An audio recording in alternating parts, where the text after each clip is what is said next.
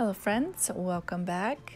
Today I've decided to flock my own Christmas florals and my own like icy looking stems for my Christmas tree. I am going to be sticking with my cabin theme, but I wanted to add some glam to it. And florals and glitter and sparkly things is the best way to do that.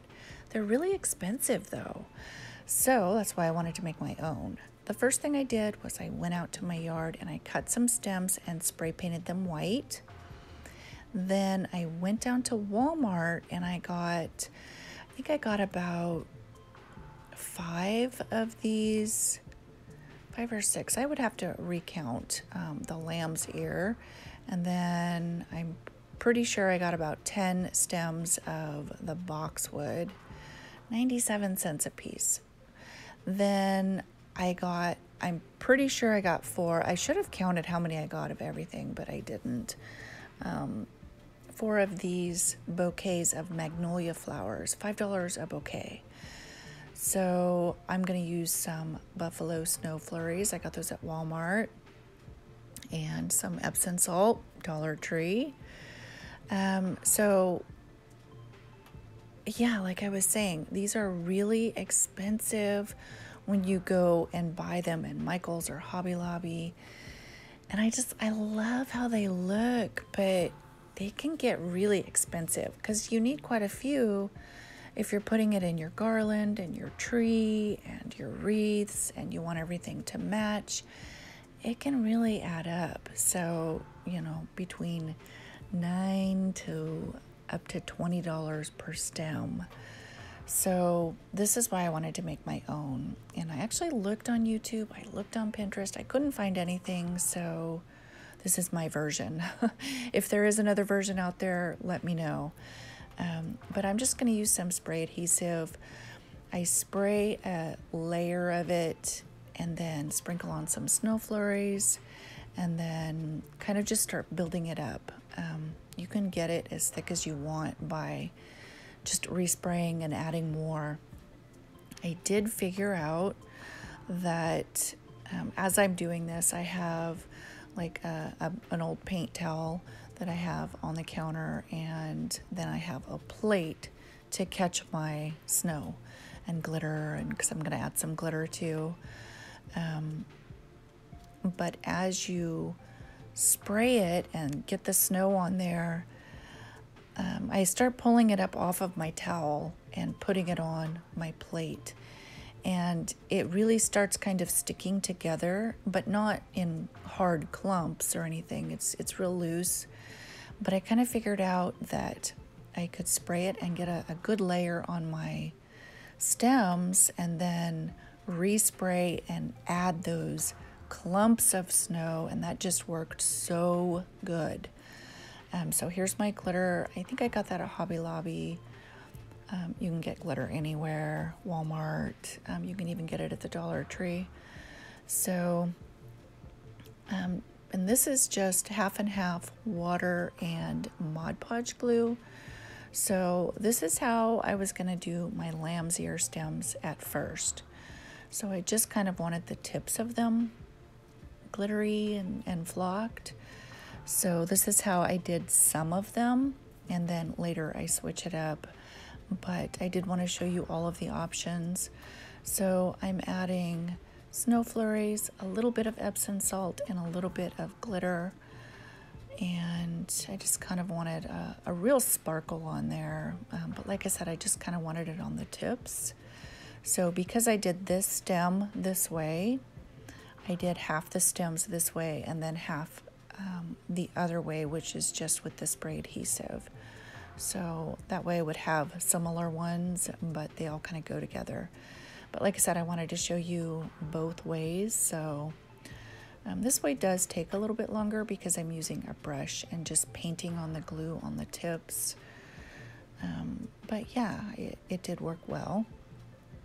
And you can see how pretty it is. I love how glittery it is.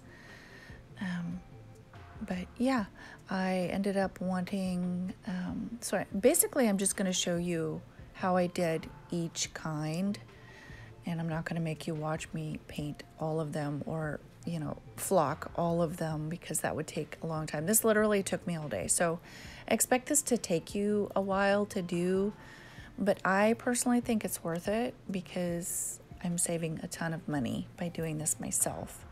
And I think it's beautiful. I think they turned out great. So, um, I, on the bouquets, the magnolia bouquets, I do remove the leaves that I don't like and I just put back on the leaves that I, I do like. So, yeah, I just didn't like the lighter colored ones. So, I'm going to use my spray adhesive and I spray the inside of the flower, the outside, and the leaves.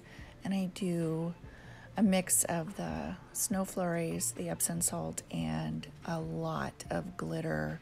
So, putting the lamb's ear aside, how I did half one way and half another way, I did try to stick with um, doing like the flowers I did one way, and then there were like different, a, a couple of different kinds of flowers mixed in with these magnolia flowers.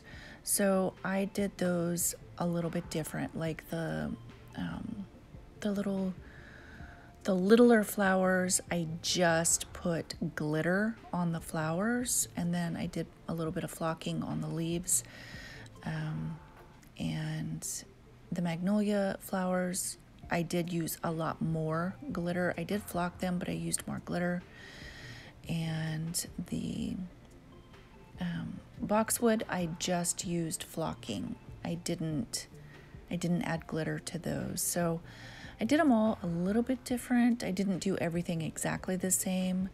Um, so like this flower here, I flock the leaves, but for the flower itself, I, I spray it with the spray adhesive and just put glitter on it, a ton of glitter on it. And I like how that looked. Um, I kind of liked that not everything was done the exact same way. So, like uh, the the sticks, the stems that I got off the trees in my yard that I spray painted white, I flock those, but I use a lot of the um, like the clumped up flocking and a lot of the Epsom salt mixed in with that. And I don't think I use any glitter on the sticks, like the, the stems that I cut and spray painted. But there's how I did each of those. And I love how they turned out. You know, for as many times as I've looked at the flocked florals in like Michael's and, and Hobby Lobby and stuff, I don't know why I never thought to do this before. It's so easy. So, um, like I said, with these little sticks that I've cut off the trees in my yard, I spray with the spray adhesive and I put a layer of the snow flurries on it. Just it kind of gives it a base to start off of. And then I can spray it and, you know, add that kind of clumped up snow that's on the plate. And because these sticks are, you know, random sticks, I did do them a little bit different. I some of them I just put a little bit of flocking, and some of them I put it on really heavy. So, yeah, it just worked really well. So, after I got them flocked, I decided to use this is like a a little crystally type garland. I'm not sure where I got it. Um, I think I got it at an antique store, but um, they do have similar type in like the ribbon section at Michael's.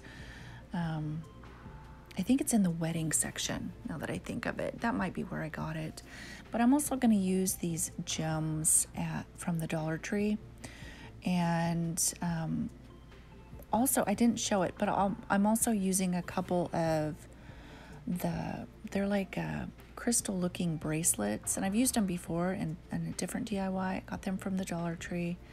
I'm just going to hot glue those on there and just finish up the the rest of everything and yeah like i said it did take pretty much all day um, here you can see my second um, style for the lamb's ear i just spray it and then just add a ton of flocking on it and um, just like with the sticks, some have more flocking, some have less. Um, but I didn't add any glitter to the lamb's ear, just flocking. So you can see I'm pulling it off of my towel. It's just really kind of clumpy. I don't really know what to call it, but it it really sticks on the, the stuff good. It sticks on those florals so good. And you know, once you get that base layer down, then that other stuff just sticks on there so well. And it just looks like thick snow, thick flocking to me. I love it. So you can get it as thick as you want. Um, I just did mine how I think they're pretty, and I love how these turned out. I cannot wait to dig out my Christmas tree, and of course, I'll have a video. Um, I'm excited to do more of like a rustic glam tree this year. So, anyway, I hope you guys like this DIY. And of course, as always, I hope you're having a great day. I'll talk to you guys next time. Bye bye.